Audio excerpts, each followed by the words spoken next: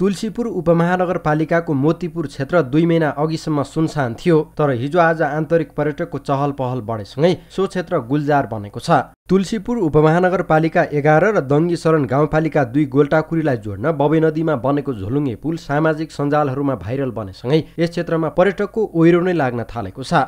दुई हजार अठहत्तर साल फागुनमा निर्माण सम्पन्न भएको यो पुल तीन वर्षपछि भाइरल भएको हो।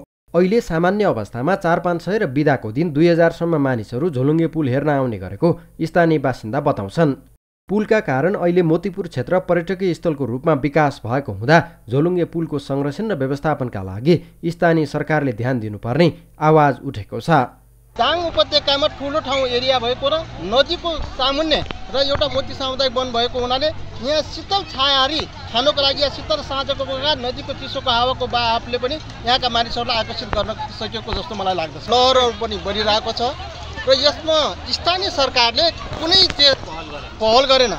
बबई नदीको फाँट र झोलुङ्गे पुलबाट देखिने सूर्यास्तको मनोरम दृश्यले आन्तरिक पर्यटकलाई आकर्षित गरेको छ। यस क्षेत्रलाई पर्यटकीय स्थलको रूपमा विकास गर्न सके अझ राम्रो हुने आन्तरिक पर्यटकहरूको भनाइ छ। प्राकृतिक मनोरम दृश्य देखिने सन्ध्याकालीन समयमा जनिवारी जङ्गलहरू लगायतका खोलाका फाँडहरूमा भएको विकासलाई मान्छेले जनताहरूले जो रुचाइराख्नु भएको जस्तो देखेर एक किसिमको रमाइलो लागेको चाहिँ मैले पुल हेर्न आएको यहाँ दुई चार महिना अगाडि पुल फेसबुकमा हालेको थिएँ अनि त्यही हेर्न आएको। झोलुङ्गे पुलसँगै नजिकै रहेको मानव निर्मित जलाशयलाई समेत पर्यटनमा जोड्न सके यस क्षेत्रको आन्तरिक पर्यटनमा टेवा पुग्ने स्थानीय बासिन्दाको धारणा छ। यो पुल एउटा हाम्रो लागि नौलो पनि भयो। सँगसँगै थारू सांस्कृतिक रूपमा एउटा नाचगान भइरहेको छ। अनि होमस्टेको रूपमा मौलिक खानाहरू पनि राखेको रहेछ। सँगसँगै अझ एउटा सुझाव पनि के छ भने योभन्दा पाँच सात मिनट दक्षिणतिर गएपछि साबीको गोल्टागुरी गाविस अहिलेको दङ्गेश्वरण गाउँपालिकामा एउटा बाघेचिरा छ।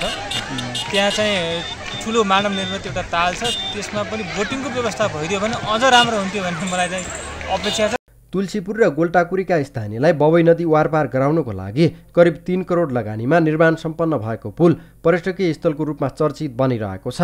अब पुललाई के कसरी व्यवस्थापन गर्ने भन्ने विषयमा स्थानीय सरकारको पनि चासो हुन जरुरी छ। दाङबाट गोपाल शर्मा भट्टराईको रिपोर्ट।